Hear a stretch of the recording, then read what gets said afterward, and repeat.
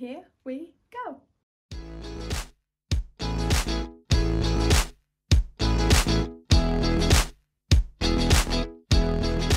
What's up warriors? Welcome back to the channel. If you're new here, please like, share and subscribe. Today's video is the first of our top 10 series and we are starting with the female warriors. That's right guys, we are counting down the top 10 female warriors in history. So this one's for you ladies. Here we go.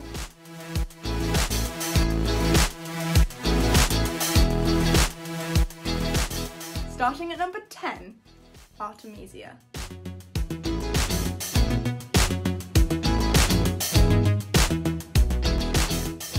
The 5th century Turkish queen was appropriately named after the goddess of the hunt. Artemisia was queen of Halicarnassus in modern-day Turkey, but is remembered in history for commanding the Persian naval fleet during their invasion of ancient Greece. That's right guys, it's the warrior queen Eva Green in 300 Rise of the Empire. Now Artemisia really made her mark in the Battle of Salamis. Even Greek historians wrote of her heroics during the battle, painting a picture of a ruthless warrior who is decisive and incredibly intelligent in his strategies, willing to do anything to defeat her enemy. With a Greek ship bearing down on her, Artemisia intentionally turned her ship onto one of her own, sinking it in the process, convincing the Greeks that she was one of them and it worked. She escaped her enemies, avoiding almost certain capture. Despite being a fearless warrior, legend has it Artemisia fell in love with a boy who didn't love her back. But unable to deal with the heartache, she leapt from a rock that is said to break the bonds of love. Instead, however, this fearsome warrior broke her neck and died in the name of love. What a load of bullshit.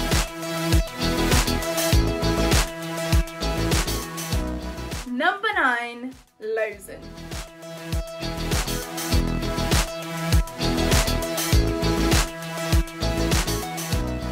Lozen was a 19th century Native American warrior from the Apache tribe. In the 1870s, the Apache tribe were pushed into a reservation nicknamed Hell's 40 Acres, due to its terrible conditions. But in 1877, legendary Apache leaders Geronimo and Victorio, Lozen's brother, led a rebellion striking fear into the hearts of settlers in New Mexico's Black Mountain. During these raids, Lozen would take pity on the women and children, leading them to safety across the Rio Grande. Victorio, her brother, is quoted as saying, Lozen is my right hand, strong as a man, braver than most and cunning in strategy.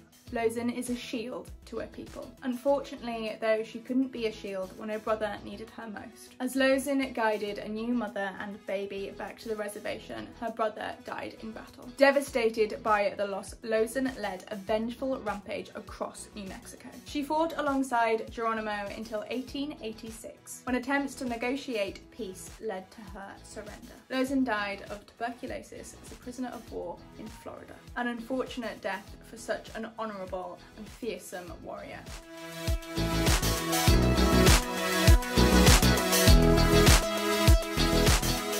Number 8. Zenobia.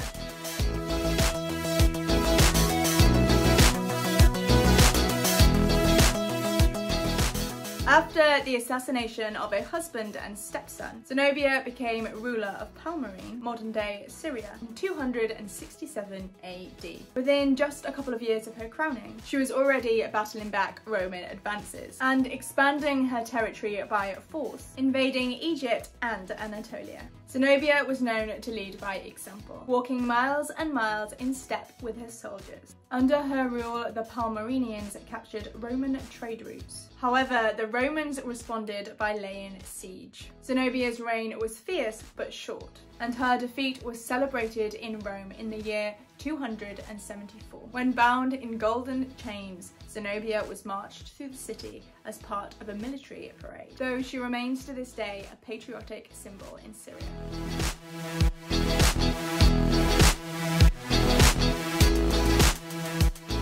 Number 7. Fu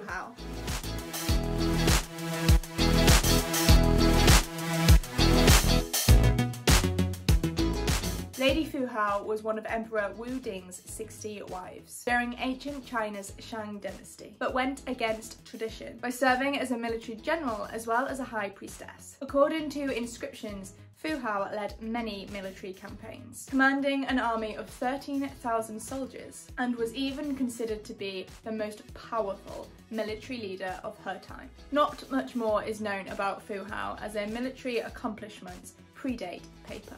However, her tomb gives us an insight to her success. She was buried with 130 weapons, 27 knives, thousands of jewels and ornaments, 16 human sacrifices, 6 dogs, and 4 tigers. If that doesn't say strong independent woman, then I don't know what does.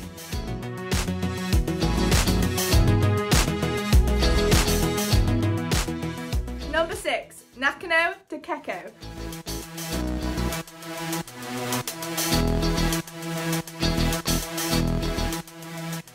One of the few known female samurai and the first on our list. The Takeko was educated in martial arts before gaining notoriety in the Boshin War. During the Battle of Aizu in 1868, she and other women who chose to fight were not recognised as an official part of the Aizu army. But did that stop her? Not a chance. Takeko led the fearsome females in a unit that was later dubbed Joshutai, the women's army. Though formidable warriors, the rebellion was destined to fail. While others around them surrendered, the Joshutai did not. The women fought on even as the gates of Aizu closed, trapping them on the battlefield. Takeko fought fearlessly, but was shot in the chest. Knowing she was about to die, she asked her fellow warrior, her sister, to cut off her head because she didn't want it to become a trophy for her enemies. Her sister did as she was asked and escaped the battlefield with Takeko's head, burying it under a pine tree at a nearby temple, where it remains to this day. What a woman.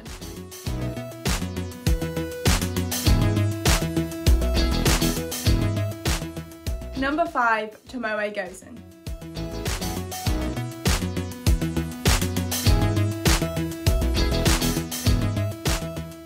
The most famous female samurai, however, predated Takeko by about 700 years, and her name was Tomoe Gozen. Gozen was a title of respect bestowed upon her by her master, Shogun Minamoto no Yoshinaka. She fought alongside male samurai in the Genpei War, which lasted from 1180 to 1185. In 1182, she led only 300 samurai in a battle against 2,000 enemies from the Taira clan and won. While women fighting amongst men was highly unusual, Yoshinaka's high esteem for Tomoe and her fighting skills overcame prejudice. Tomoe was Yoshinaka's champion. According to tradition, before a battle, a warrior from either side would fight to the death, one on one, taking their enemy's head as proof of their victory. Tomoe was always first to be called upon by Yoshinaka and delivered so many heads that she became so well respected that she was even considered to be the first general of Japan.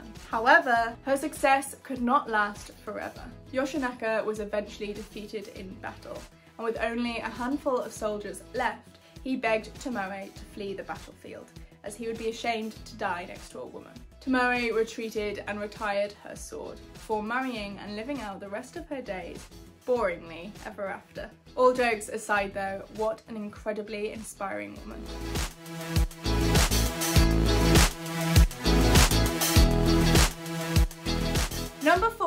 Trieu Thi Trinh.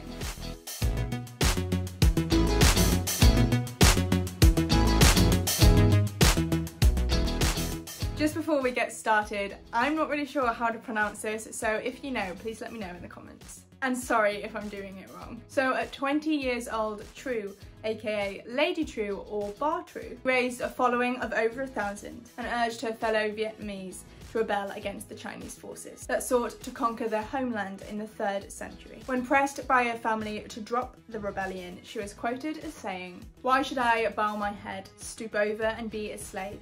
Why should I resign myself to menial housework? You go, girl. She left her family and joined the army, cutting a grand figure on the battlefield, carrying two swords, wearing a bright yellow robe, and riding a war elephant. After liberating her territory and tasting victory 30 times, she eventually lost the war and is believed to have committed suicide at 23. Despite the dark end, her legacy lives on. Stories of her suggest that her voice rang as loud as a temple bell, she was 9 foot tall, and her breasts were 3 foot long. Imagine the back pain, girls! These tall tales speak to the incredible presence of this young woman, who inspired the Vietnamese people for nearly 2,000 years. Heroic.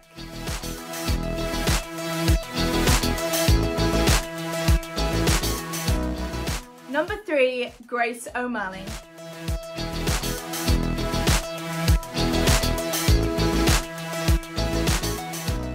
Grace O'Malley was a 16th century warrior and Irish pirate queen, also known as Gráinne Mhaile a nickname derived from a tale of teenage rebellion. When her mother refused to let Grace set sail with her father, suggesting her hair was so long it would get tangled in the ropes. Grace promptly sheared off her locks and set sail. She ruled over the O'Malley Kingdom of Ireland and became chieftain of the clan after her father, using the tribe's boats for piracy. Grace and her crew would board vessels that dared to come too close to her shores or ships taking tax for passage and slaughtering anyone who refused. She was said to be so fearsome that even on the day after birthing her child upon the ship, she took up arms to defend it, scolding her men.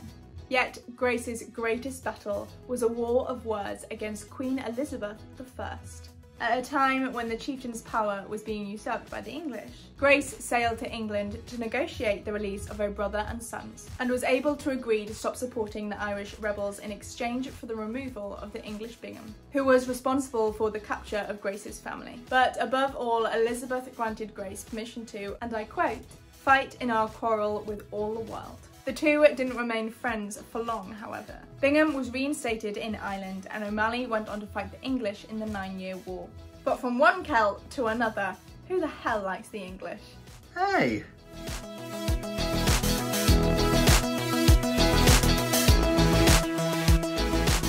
Two, Joan of Arc.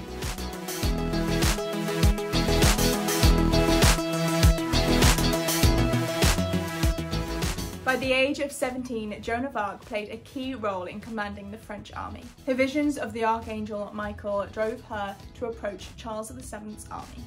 With the Lord behind her, she offered her assistance to help expel the occupying English. Initially mocked by the French soldiers, she stood tall and eventually was taken seriously when her influence ended the siege of Orleans. She continued commanding the French army, excelling strategically. However, the Burgundians, Frenchmen from Burgundy, loyal to England, soon led to her demise. She was captured in 1430 and despite several escape attempts and rescue efforts, Joan was put on trial by the English for heresy and cross-dressing. Once convicted, she was sentenced to death and burnt alive at the stake. Even after her death, her strategies are said to have influenced the French battle model. More than 25 years later, the Catholic Church revisited Joan's trial for heresy, overturning the charges against her. And years later, Pope Benedict XV declared Joan a saint. Not bad for a little girl.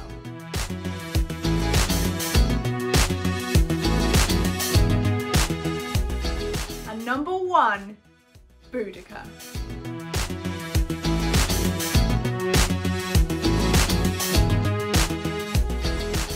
Boudica was a queen, but it was widowhood that made her a warrior. She was wife to the king of the Celtic tribe Iceni, whose will demanded that his kingdom be split between his daughters and the Roman emperor. However, Rome wouldn't recognise his daughter's right to inherit the kingdom, so upon his death, they invaded. Boudica was tortured and their daughters stripped and abused by the Roman soldiers. But Boudica would not be beaten down. Instead, she raised an army. She united the British Isles and with a 100,000 Celts at her command, Boudica waged a war. She toppled the Roman capital Camulodunum, modern day Colchester, and then rode her troops down to Londinium, London, and Verulamium, St Albans, devastating cities and slaughtering nearly 100,000 of her enemies. Her victories were so emphatic they forced the Roman Emperor to even consider pulling out of Britain completely. Unfortunately, however, the tide turned and Boudica's army was defeated. And what became of her after that?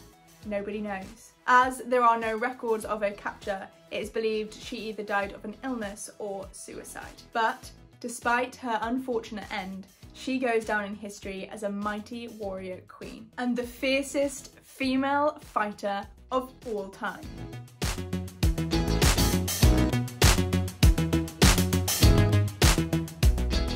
So that's it guys.